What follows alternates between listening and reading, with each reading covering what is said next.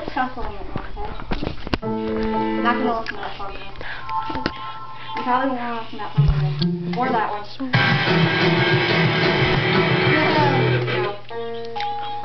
Oh, I actually love with this song.